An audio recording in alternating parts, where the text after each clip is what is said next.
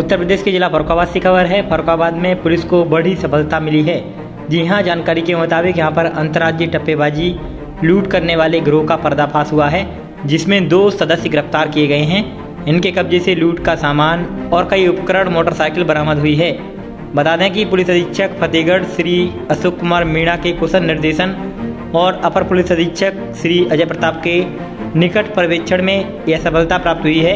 इन लोगों के द्वारा अपराधियों के विरुद्ध चलाए जा रहे अभियान के क्रम में थाना मऊ दरवाज़ा पर बादी मनोज गंगमार द्वारा उसके घर में बेटी और माँ से पूजा के बर्तन साफ़ करने के बहाने घर में घुसकर तमंचा दिखाकर लूटपाट कर सोने के जेवर ले जाने के संबंध में मुकदमा पंजीकृत कराया गया था।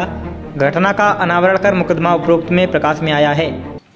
ये थाना मऊ दरवाज़ा क्षेत्र के अंतर्गत दिनांक 30 आठ 2022 को कुछ लोगों के द्वारा घर में उजाला कंपनी के जो रिप्रेजेंटेटिव बनकर आए थे और कि हम जो जेवर होते हैं और बर्तन होते हैं, उनका पाउडर से उनको साफ़ करते हैं। वो कहकर वो घर में घुसे थे और घर में घुसने के बाद जब उनके घर वालों ने उनको सोने के आभूषण दिए तो उन्होंने तमंचे के बल पर उन आभूषणों को लूट कर वहाँ से वो फरार हो गए थे। जिसमें वादी मनोज गंगवार के तहरीर के आधार पर मौदरवादा थाना पर तीन सौ पचासी बट्टे बाईस धारा तीन सौ बानवे के अंदर मुकदमा दर्ज किया गया। इसमें हमारी एडिशनल एस और सी सिटी के नेतृत्व में एस ओ जी मऊदरवाजा और सर्वांस टीम के अलावा भी दो टीमें लगाई गई थी इसी क्रम में हमारी टीम को सफलता मिली है, जिसमें एक अंतर्राज्यीय टप्पेबाजी और लूट करने वाले गिरोह के दो सदस्य जिनका नाम संजय और गौतम है, जो कि बिहार कटिहार के रहने वाले हैं। उनको गिरफ़्तार किया गया है। उनके कब्जे से लूट का एक अदद कंगन, जो लूट में इन्होंने लूटा था, एक अदद साइड बैग भूरे रंग का, जिसमें पूजा के बर्तन साफ़ करने वाला पाउडर, तोलिया, ब्रश, कार्ड, जो कि उजाला कंपनी के मार्का के हैं।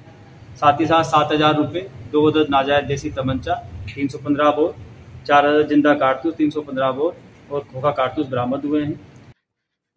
पुलिस के मुताबिक अंतर्राज्यीय टप्पेबाजी करने वाले इस गिरोह में विजेंद्र शाह, पुत्र प्रदीप शाह, दिलीप शाह, निवासी लक्ष्मीपुर थाना बरारी, जिला कटिहार, बिहार हैं। इनके पास से एक सोने का कंगन, कुछ नकदी और घटना को अंजाम देने वाला पाउडर, तौलिया, ब्रास, कार्ड आदि बरामद हुए हैं। साथ ही इनसे देसी तमंचा और कुछ कारतूस एवं मोटरसाइकिल बरामद की गई है। इन अपराधियों को पकड़ने में एसओजी टीम, थाना महू दरवाज़ा पुलिस टीम का विशेष योगदान रहा आप देख रहे हैं द दस्तक ट्वेंटी की रिपोर्ट।